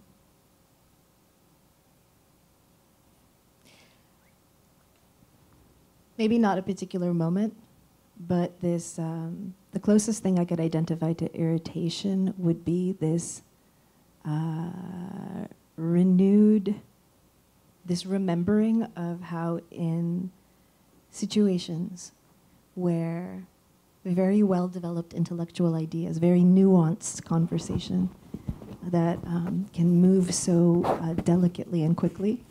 It feels to me like the top branches of a tree, knowing how long it takes to get from that beauty down to the trunk where the action takes place. The, the feeling of like, the more sophisticated the thought, the longer it's gonna fucking take for it to be applicable to the world. Yeah, And definitely. the more subtle and nuanced it is, the more it's like medicine for the earth. So just feeling the like, uh, of that, Yeah. maybe. And also just like greedily, I'll just tell you, seven minutes of talking. I want to take everybody I out of the audience and start teaching you guys exercises like right now. That's going to happen, I'm sure. No, but that's uh, it. It's where it starts. It's true. There is like a, um, there is a superficial level to the discussion, but at the same time, it has to start somewhere. Oh, I That's didn't mean the- superficial. I mean, Uh-huh. in general, the more intelligent, the more sophisticated, the more nuanced the conversation, the harder it is to know what to tell people to do with it. Mm-hmm. It takes longer for it to kind of trickle down until we have an actual, like, hey guys, let's stand up for this nuanced, subtle, brilliant, beautiful idea and sentiment and context. Mm-hmm. Like, give us a Neanderthal's thought, build a wall, and everybody's in. Yeah, right. That's quite true. Um, is Nancy Spector, are you here, Nancy? I thought you were coming. No, because I wanted to discuss a little more what museums can do to um, get this conversation continued, you know, so, but, and I thought that Nancy would be here also. Um, uh, I have another question for you. Are there something that Eric and I discussed while preparing the conversation was personalities in history that used friction as a, as a means of communication. It was so difficult to make a list that was not um, superficial, that was not limited, that we decided instead to ask our speakers which personalities they admired the most, that were able to actually um, use conflict as a way to build. So I wanted to ask you all, is there anybody in particular from, it could be Richard Pryor, or it could be instead, uh, you know, it's, it's anybody that in particular um, resonated with you and that you admired because of her or his or their use. Please, Tsige, yes. Um, I'll be very quick about it. There is um, a book right now that I am kind of obsessed with, and I sent in the, the, the stuff for the reading too late because I am challenging to get a hold of. Um, uh, Emergent Strategy by Adrienne Maree Brown. Um, if there's anything you take home tonight, take home that. You won't regret it. Emergent Um, strategies. Emergent strategy. Um, I really, she's a, a, a organizer and an activist out of Detroit, and it's kind of um, a culling of a lot of voices, mostly different organizers from across the country who are involved in a lot of different movement spaces, and it's all about like dreaming up um, how we might create um, more functional movements, um, healthier movements. And, um, and she's like very grounded in a lot of work. She also talks a lot about transformative justice. And if you haven't heard about transformative justice before, um, it's a really dope uh, lens and practice that people are developing to, uh, as an alternative to mass incarceration. And it's also just a praxis that you can use to deal with um, interactions with different people. It's one of those things that like assumes that violence does not begin. Uh, does people who enact violence do not enter violence for the first time by acting it? If that's if that's right. Mhm. So that these things are part of much larger framework, and that when what if we looked at mass incarceration and um, different instances of violent encounters or challenges with different individuals as less of like um, punishment based but consequence based. Um, anyways, I think she's also someone who looks at a lot of um, science fiction. She does a lot of like um, speculative fiction and using science fiction as a way to build alternative futures, um, talking about movement spaces and people who do it, dream up different future, equitable futures for us as being um, kind of like science fiction work and how, yeah, that's Mhm. really Afrofuturist and lit. Um, so yeah, Emergent strategy. emergent strategy, Mhm. Adrian Ray Brown. Thank you. Anybody that you thought of? Um, Yeah. Di- Diana Vreeland. Sorry, Diana Vreeland? Absolutely. Ah. I love Diana Vreeland. I love her, her, juxt- her juxtapositions, and also my favorite quote of hers, which is "Elegance is refusal."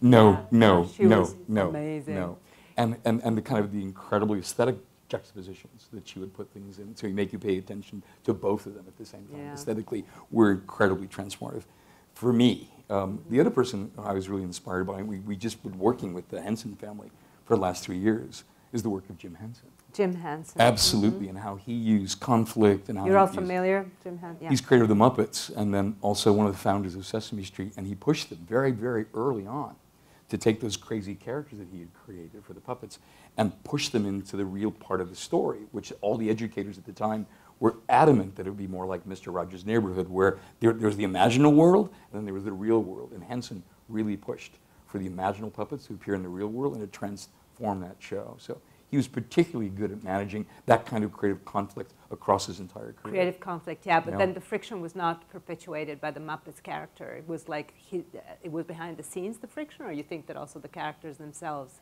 inserted Both, because there's, a, there's always this, there's the most powerful characters, the Muppets, always have this sort of friction that happens between them. There's always someone who's trying to keep things under control. There's someone who's always trying to break them You up. You should have seen when Cookie Monster came to MoMA. I'm not kidding. It was just like it was like Yeah. mobbed. Yeah, Yeah. So, so you have these two characters. You get, you get uh, Kermit, and you get Miss Piggy, and you get Yeah. Ernie, and you have Kermit. And between, in, in between those, that's what becomes interesting as a story, but also becomes incredibly compelling to watch. Martha, do you have a character? Again, this is, I, I, my mind doesn't work this way. I'm excited by universes of discourse and the contributions that various people make to uh, open my mind to ways of thinking and thinking about things that I don't know about, things that I just had no idea existed historically, or ways of thinking that I didn't know existed. And to pick out a name is just not possible. Fair but enough. it's it's almost a, a physical. Well, it is. uh it's the absorption in figuring out what it is that people are talking about uh, is riveting for me.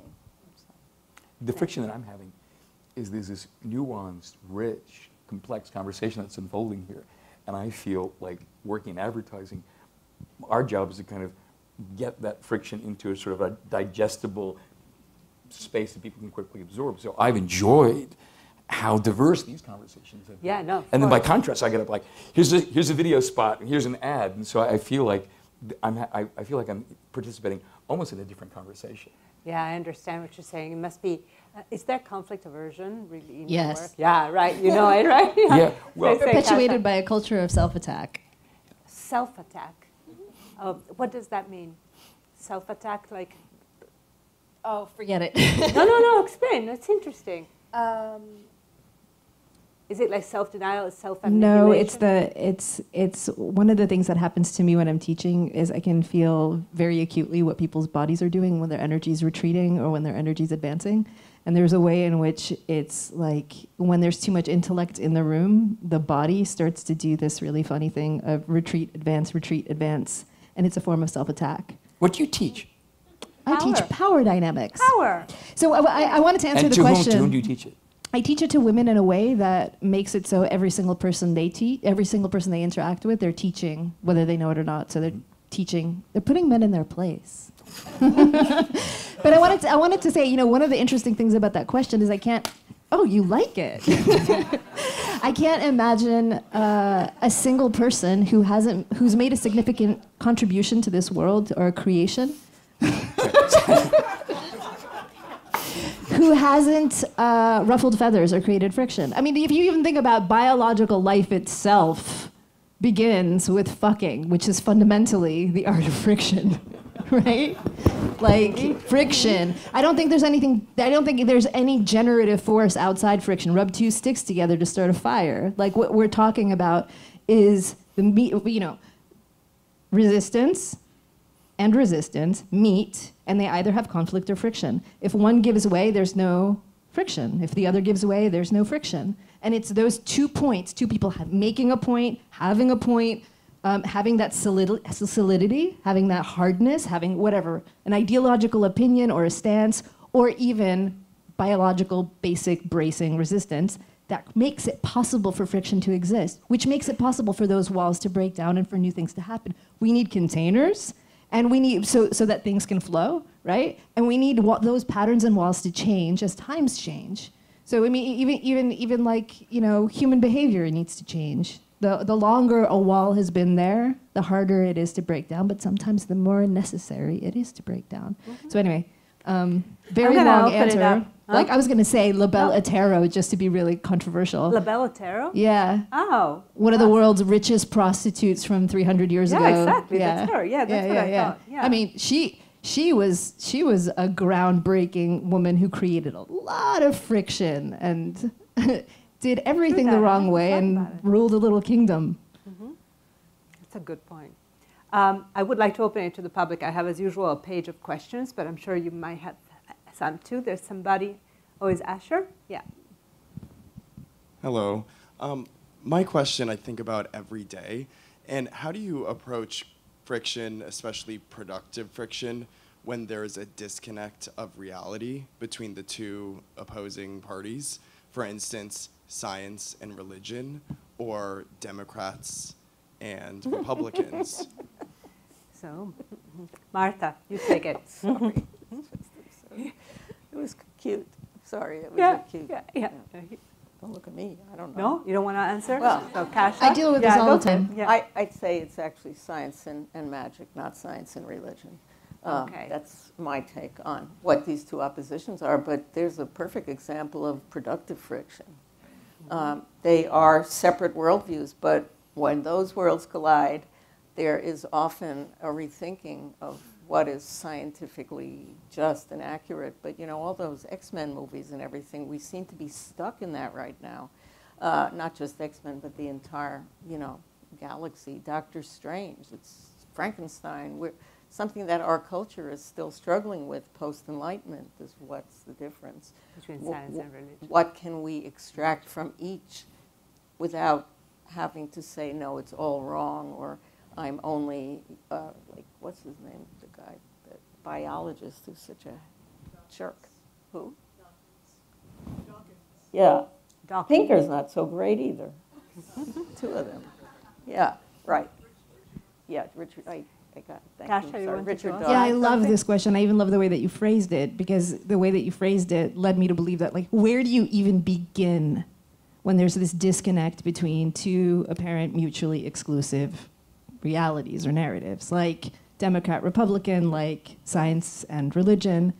Um, so, uh, in the way that I work, like the first thing I would say, well, first of all, I would say, so awesome that you're trying, right? But the first thing I would really say is there's no such thing as science or religion or Republican or Democrat. There's just people and conversations. So when you're trying to make a connection, what's happening a lot of the time is people are throwing these really mental, ideological schema bombs at each other, like as if they were bombing each other's houses, right? Like, this is what I believe, take it. This is what I believe, take it. And one of the first things that, in order to start creating a new way of thinking about everything, is to actually move, move away from thinking. Um, when two people are trying to relate to each other, one's a religious person, one's a scientist. Uh, it's the same thing that I was talking about when I was uh, giving my little talk about how, well, what's the thing in you that is behind your religious conviction? And what is what's the heart of that? And what's the physical experience, lived experience in your body? Like not just head, heart, and body. What is the lived experience you've had that feeds that whole and supports that whole either passion for religion, need for religion, And you cannot, here's the other thing. In, I run a school on power and influence, and one of the things I discovered is you absolutely cannot influence something you do not approve of on some level. And I don't mean you have to approve of the Holocaust. You have to approve of the fact that it's there in front of you enough to engage with it. This is the thing I'm talking about when I'm talking about conflict avoidance, right? Like not wanting to go there. You have to go, oh, this person's religious in a way that I am not. What's, what's, what's, what's the thing behind it? What is it they're fighting for? And if a person's willing to do that and do that to themselves, right? Like, okay, my scientific logical conviction, I'm not about to give up my belief in fucking reality, but what's, what's at stake for me? And through this process, people start understanding that communication is actually like 10% ideas and words and 90% primal communication. When you can, we can, you can start connecting on the level that's very fucking human. This is hardest with uh, uh, family members. This is hardest in long-standing relationships because those are the most fixed. But in in in uh, relationships that don't have such fixity, you can watch this shit happen, and it's fucking unreal. Like people get moved, people start having new ideas about things, and I feel really passionate about this, especially at this moment in in terms of what's going on in the world. We lack this skill, and us lacking this skill as human beings smart people and nice people being quiet and, and, and everybody else being aggressive, vulgar, and violent, like, we don't stand a chance in surviving on this planet without this skill. There's a in the middle over here, please. Thank you. Hi. Um, so I think that you know there are, are, good aspects and bad aspects to friction, but I think that also a lot of the time um, to get to the benefit of like going through a trial or tribulation, whatever the case may be, like a lot of times people wait till their back is against the wall or until they have no choice. And there are people who are very in very comfortable situations, let's say, where they're also suffering in a way, but they don't want to go through the friction to have the positive end result. So my question for you, um, any of you, would be: What do you think are ways in which, like, if you see that there could be some sort of benefit to friction in throughout different levels? How do you get people to want to go through it if they're comfortable? What was that last sentence? That, How do you yeah, get people to want to go through friction if they're comfortable? There are people that don't want to go through friction. Yes. Yeah. This Can is something Tsige, you were talking about before. Yeah, I mean, I'll just like respond to this in like a little way because I, hmm, I think I also like this ringtone. Yeah, I know it's a nice ring. Um, don't worry about it. It's okay, It'll- Joyce. Don't worry about it. I, I quite enjoy it. So Yeah. I'm like, There you go. yes. Um, uh, I think, mm, I think all the time of like, hmm, mm, hmm. Okay, cool. So, uh, I don't know how. I mean, I'll try and get into it. So with the collective I'm part of, BUFU, we've done like all kinds of programming, like all over the city. If you haven't come to our programs, I guess come if you want, but if not, that's okay too.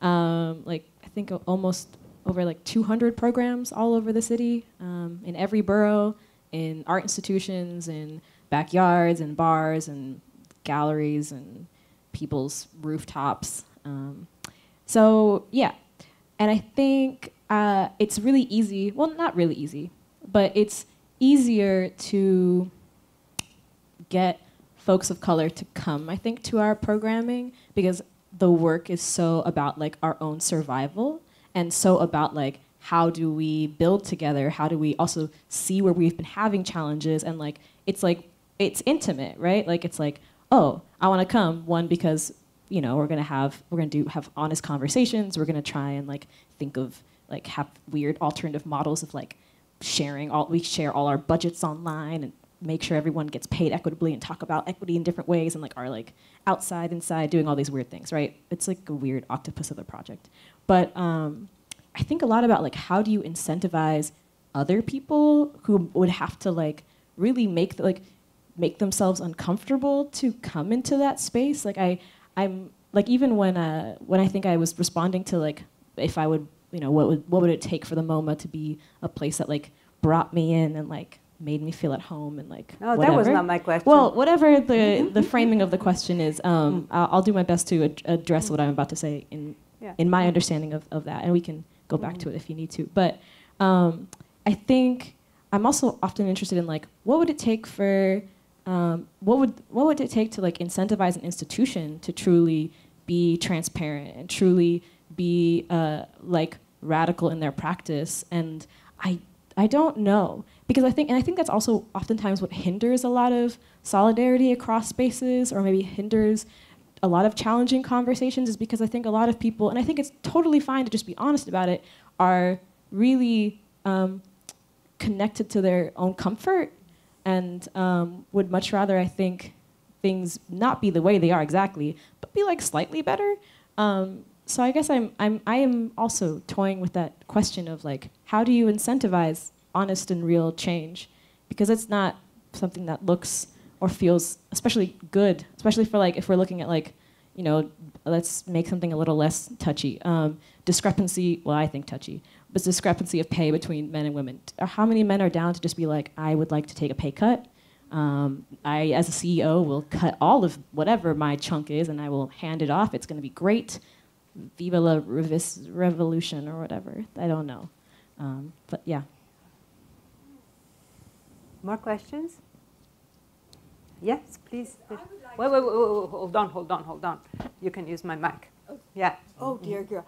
Um, I would like to address what you just said that uh, people, if they have the power, they don't want to come to the table and discuss things. Why would they? You know, so when you're talking about this, and I'm always saying, how do you get people who are in a position of power want to give it up to put themselves in a place of fiction where there must be dialogue and debate in order to have some new resolution to improve the situation? Thank Yeah, you. you're welcome. Thank you. I mean, I don't have an answer, but I, I do. That's what my that's what I'm I'm working on, and also like if I wanted to get very quickly, because I don't want to talk too much. Well, I don't know. Anyways, um, very quickly, I think um, like for myself, I'm gonna get I'm probably gonna lose some people here. In my hippy dippy heart, like I truly believe um, in the interconnectedness of people, and I do not think that there's a lot of that you can really experience like maybe like true joy and happiness when you're understanding that like there are people who are suffering to, for the comfort that you have.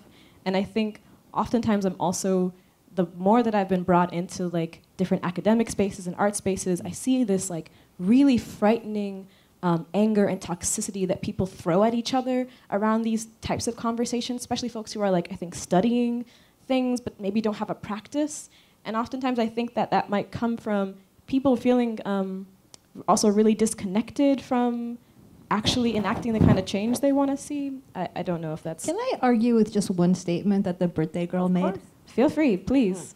Uh, the idea that there are people who suffer and people who don't, and that there are people who experience more friction than others, and that that can be um, identified in terms of external circumstances.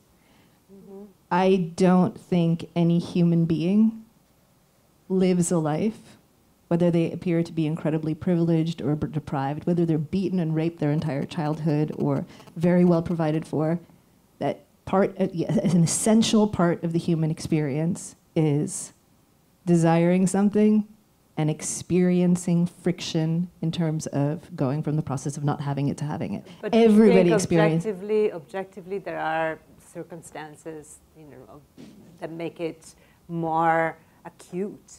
For there are some problems there are social problems to solve Mhm. definitely there's economic injustice but if we're talking on the level of the human being the level of the human being suffering can be incredibly acute even in the most incredible looking circumstances there is no avoidance of friction which is part of why i think it's so important to learn how to work with it how to Tsige, you how to wanted use to it as a generative force Yeah.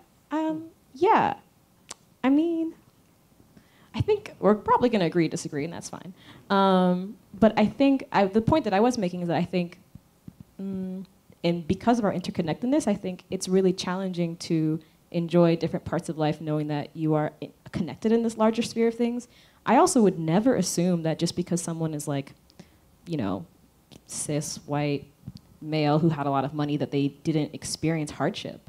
I think that's a very weird thing to think, but I also would not make the assumption that the hardship like that hardship is equal to someone suffering in a different like maybe like a really challenging economic situation so, so how do you weigh challenge. that how do you compare people's suffering I don't really need to, and I don't. good point. um, I think I am much more interested in being like, here are things that are happening clearly because of facts. And here's the world that I want to see because I want to feel better, and I think we all do. And there's ways to do that. Yeah, yeah. So, uh, yeah, we all experience suffering, but it's also a really, to me, a very scary place to begin if we're trying to have a conversation about equity.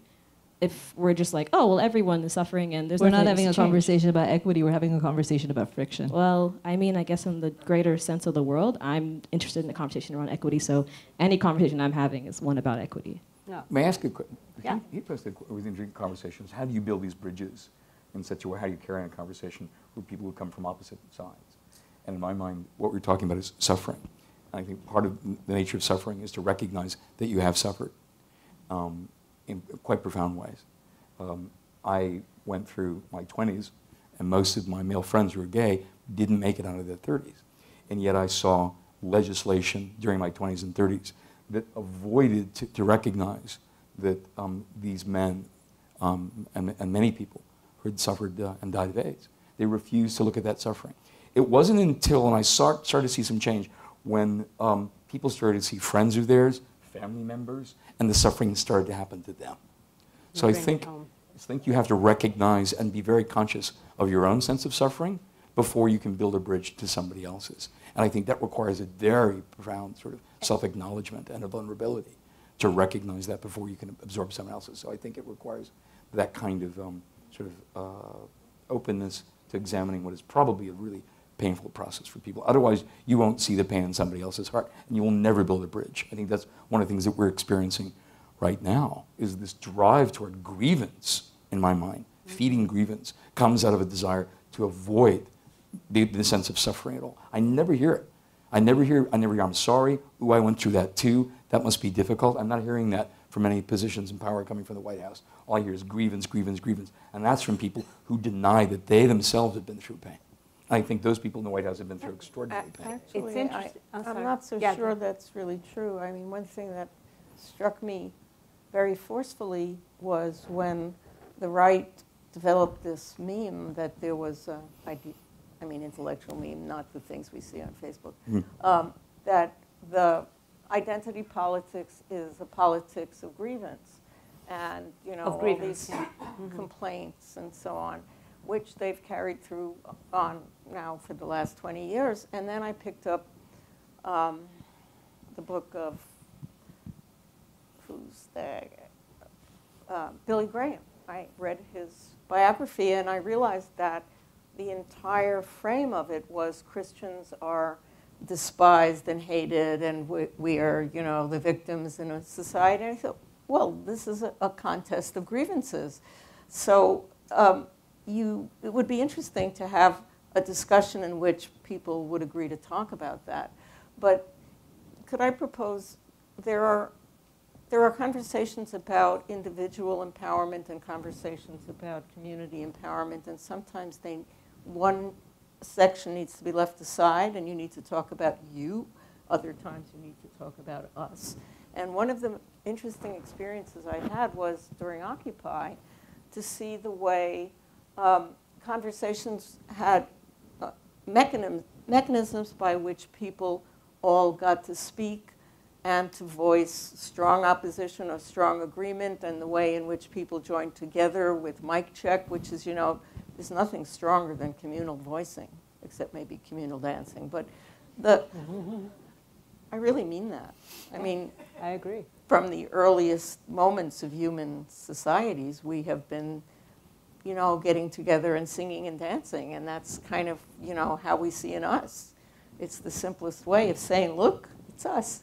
But anyway, this is another way of saying, yes, we know in some ways we have a contest of grievances, but we also have a common goal, which is, you know, to put forth a community vision. You almost never get there, and I've kind of done this with my students as well. But working on it is so empowering, uh, maddening, and wonderful because you hear your friends come up with things that you just really can't agree with, and yet you have the idea in this group, we would like to put this forth. So it's Mhm. just another way of thinking about, you know, friendly friction.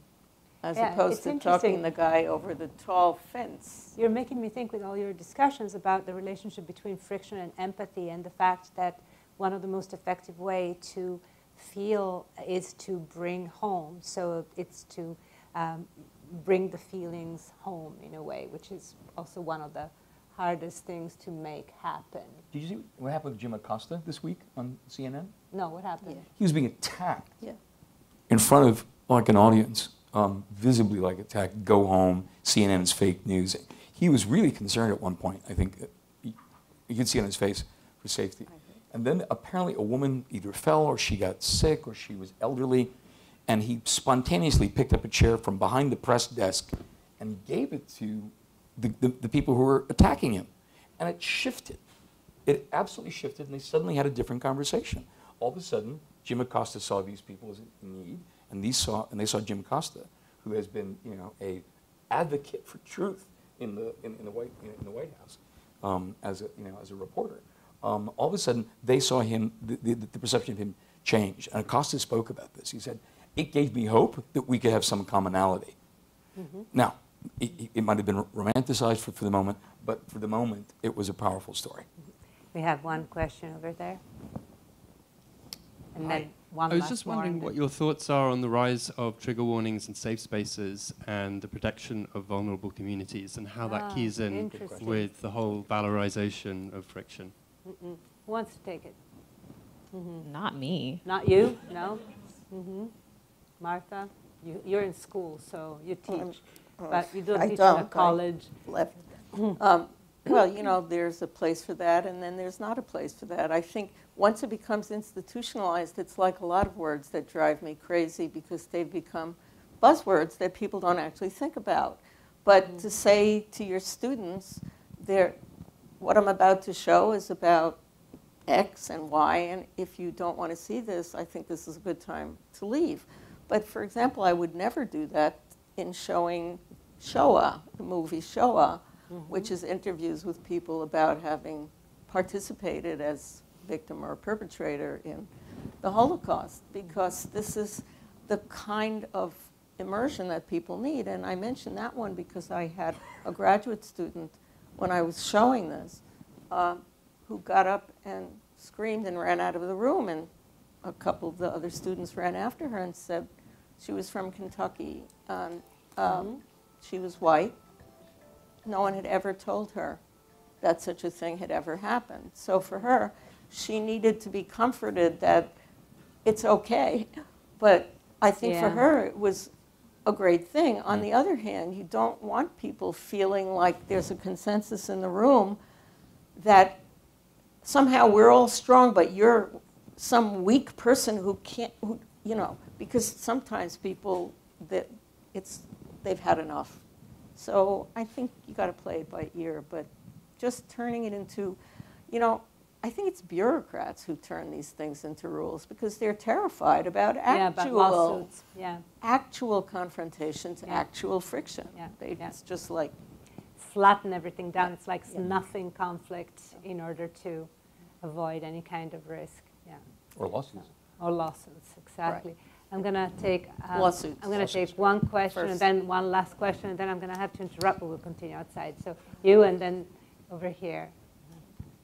Yep. Um, so, firstly, thank you for the word friction, because in it I feel that there's a sense of growth, whilst for so long the word conflict has been used as sort of an idea of art and, and, and getting outside of your box and so on. But I find that to be a destructive concept. And here's my question Is there a way in daily conversation that when a moment of friction arrives, to, to feel oneself and make the other person feel that there is a place, a new and better place arriving after this moment. Can I respond to that quickly? Sure. And also, maybe I'll say a little thing about trigger warnings because I was mostly joking because I thought that was clearly pointed at the person who put a community agreement on the wall. um, I mean, I don't need to go too much into it. I think a lot of spaces are inherently violent for different kinds of bodies.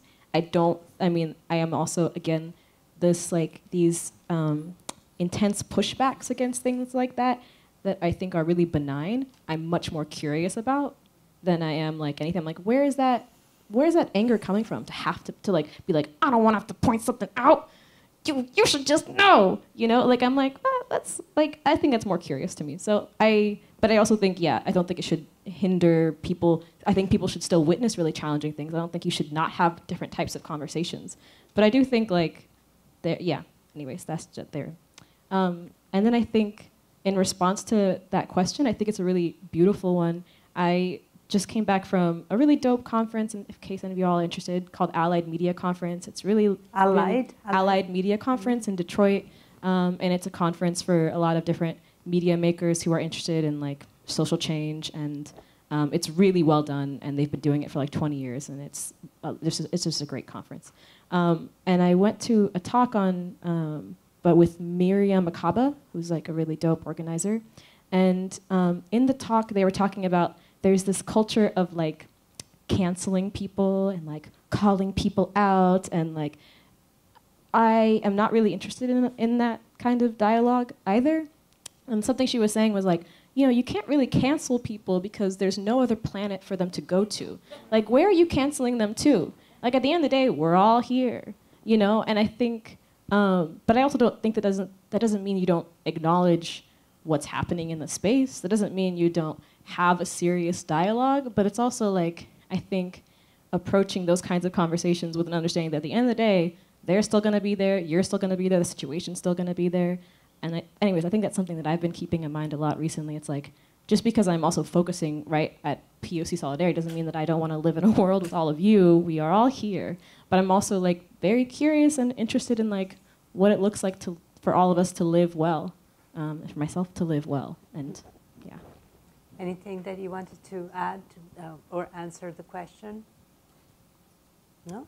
Then I'm going to just say it's, uh, it's 8.05, and you know, usually we try to also be punctual so that we can go have our so-so wine and great conversation outside. But I would really love to, to thank you all, Tsige, Martha, Kasia, and Brian for a great evening, and you for a great participation and Erica for her great research. And let's just go outside. Yeah, Erica. Woo, woo, woo. My life. What? So let's go outside and uh, talk some more. Thank you.